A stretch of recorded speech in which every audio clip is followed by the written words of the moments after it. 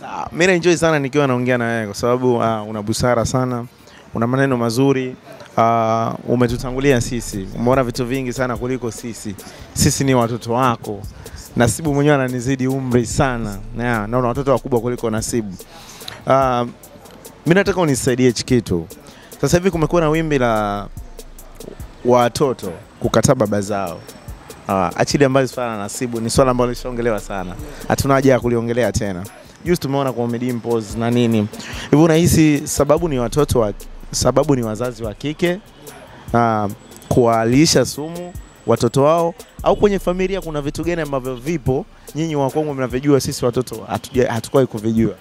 Kwanza ngoja niongee kidogo, niliongelea swala deposit, nilisikia ila mimi naona kosa kufikiria tu, alafu la pili linakuja kipato.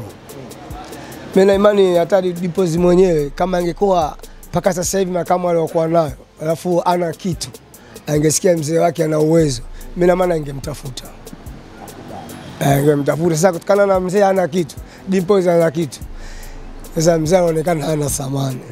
Na katika masuala ya wazazi kutupa watoto, sio tu mzazi wa kiume, hata wazazi wa kike wapo wanayetupa watoto.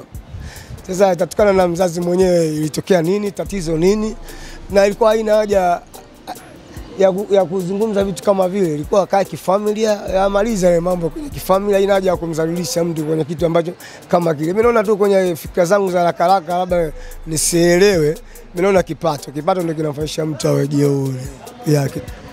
Uh, kuna sehemu ambapo wazazi wa kiume mnakosea mpaka watoto wenu baadaye wanakuja kuwakataa, na mimi nikiwemo. Sasa uh, we, ni jibu kikubwa ki kiutu uzima, kwa sababu ushaona vitu vingi.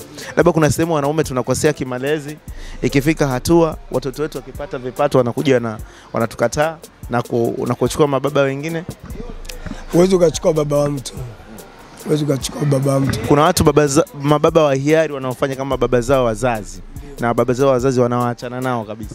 Ndio, inatokana na roho ya mtu tu, inatokana na roho ya mtu, inatokana na eh, yule mtu kafanyiwa vipi na mzee wake, au imetokea vipi na mzee wake. Hapo unaweza tukarudi nyuma tena vile vile kwamba kama ulivyozungumza, inawezekana labda na mzazi wa kike, kwa sababu mara nyingi anakuwa na yule mtu, inawezekana naye anamjengea mazingira ya kumchukia mzee. Lakini mimi na imani nawaambia tu wazazi wa kina mama wa kike wasio na tabia ya kujaribu ku ku- kumfanyisha mtoto mpaka ana- anashindwa kumwelewa baba kiundani zaidi. Utakuta mama mmoja lakini ana, ana, alikuwa labda na karatasi tatu nne za hospitali eh, ana uwezo tu mama akamchukia mzee, mtoto akaonyeshwa hata karatasi nyingine hospitali, akaambia babako mtu mwingine mwingine jina lingine mtu mwingine. Hiyo ipo, hiyo ipo, ila tu mimi nawaomba hata watoto wenyewe wakae wafikirie wakiwa wakubwa, hata kwenye kipato vile vile, wakati wakiwa wakishapata, kama anahakikisha yule ni mzazi wake haina haja ya kumwekea dhibiti, kumsamehe ni vitu vya dunia, alifanya mistake, haina haja naye kulipiza kisasi, abaki kama mzee wake. Hata kama anakuwa ampi kitu chochote, anaweza tukasema tu mimi nitabaki na mzee, lakini sitomsaidia kitu cha aina yote. Haina haja ya kumtulia maneno ambayo mpaka ulimwengu ikaona kuna tofauti gani ilikuwepo. Kana mzee kama mzee, lakini wewe ushaamua umpi support aina yote, basi haina haja ya kumzungumzia mambo yote ya vitu vya ajabu ajabu. Samani kwa hili swali, naomba unisamehe sana. Kuna siku ushawahi kukaa ukajutia kumzaa Diamond? No, mimi interview zangu zote nizofanya sijai kum, sijai kum, kum, Nasibu au kumwombea dua baya Nasibu. Kwanza nashukuru, bila Nasibu mimi nisingejulikana kusema kweli.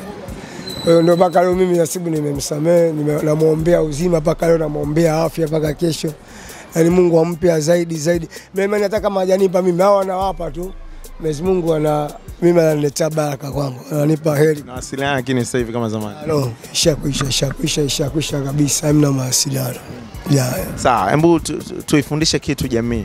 Unahisi ni kitu gani kifanyike sasa kwenye familia zetu ili hata watoto wakikua wawe na thamani, wawapende baba zao na mama zao, wasiwapende mama zao na kuwasikiliza mama zao wakawaacha baba zao. Ah, Mimi naona hiyo akili ya mtu tu, akili hiyo, akili ya mtu hiyo, akili. bora. kuna watu hapo wana uwezo washaambiwa tofauti na mama zao, lakini wanawafuata wazazi wao. Hapo narudia tena pale pale kipato. Kuna mtu anamshikia panga kabisa mamake, anamwambia wewe utanieleza babangu yuko wapi? Wewe yani utanieleza mama babangu yuko wapi? Lakini hiyo sio sana. Sio sana, lakini ipo inatokea, ipo na kuna watu mpaka sasa hivi wapo wanatafuta wazazi wao eh, ipo. Lakini sasa ndio mtu unakuwa inatokea kati kipato, kusema kweli, mtu akishakuwa na kipato ina haja kumtafuta mzee ananisaidia nini? Ya, mimi namkumbuka mama aliniweka tumboni, basi natosha, na mama anaweza akasema bana, acha mama anaweza hata akakuwa tu, bwana babako alikufa muda mrefu, lakini yupo Anaona ah, huyu mimi mtoto wangu ndakula naye mimi kama mimi. Haina haja kumwambia mtu kama yule. Lakini wapo kuna wazazi wengine anamwambia kabisa bwana yule bwana babako angalau kama alitutendea hivi hivi hivi naomba msaidie. Wapo wazazi wa kike wanawaambia watoto wao hivyo. Eh, wapo. Sasa ndio kila mtu kwenye kipato cha kilivyo kinavyotokea na maisha yake na eh, alipataje kile kipato kwenye ukubwa au muda mrefu na mara nyingi wanaipata ukubwa ndio wanakuwa na roho mbaya. Yeah. Swali la mwisho, uh, ukaribu wako na Queen Darling sasa hivi uko vipi? huko kwa kawaida tu eh, wale wanabaki kama wanangu wote. Ndio maana mimi sinaga Yaani wako kama wanangu kama kawaida, angalau sasa hivi anakuwa na pilika nyingi, napiga simu nadhani anapokea. Mnaongeaga lakini kwenda? Sana sana sana, eh, mia kwa mia. Tajuzi nilivyokuwa naumwa miguu tumepiga sana story. Alikuja. eh, ni, ni mtu alienda Saudi, nadhani kama ulimwona alikuwa Saudi, alikuwa katika maswalao na na mimi nasemaga bosi wake sasa hivi, kama wenyewe wanaendelea kumwitana kaka, basi Mwenyezi Mungu awajalie kuwapa kiudugu zaidi, wakae wazikane, wa, wapendane mpaka mmoja wapo atapojitenga katika familia. Darleen wakati anaachana na mume wake ambaye alifunga naye ndoa, ulikuwepo pia, alipata naye mtoto, alikwambia au uliona mitandaoni kama tunavyoona Ah, No, no, mimi ndo nimemwozesha kila kitu, barua ya kuoleo ya kuja ya kuomboa kuoleo, uchumba nimesoma mimi, majibu nimerudisha mimi. Mahali umechukua pia. nimechukua mimi na mahali hatukuchukua. Sisi, tumemali yetu tuliomba tu misafu, yaani vitu vya vya Kiislamu vinavyotakiwa muhimu kidini, tukaenda tukuchukua pesa sisi, Kuchukua pesa kwenye kuchukua pesa hata sendani, tukatoa vitu vya vinavyohitajika msikitini, basi mimi nikawaozesha. Eh, yes. unawasiliana na mume wa Queen Dalin? Kwa sasa hivi hamna mawasiliano yashakatika. shakati. lakini bado unampenda kama mtoto wako. wote watoto wangu lazima niwapende, kwa sababu mjui nani atakayekuzika au nani atakayekufadhili. Nashukuru sana.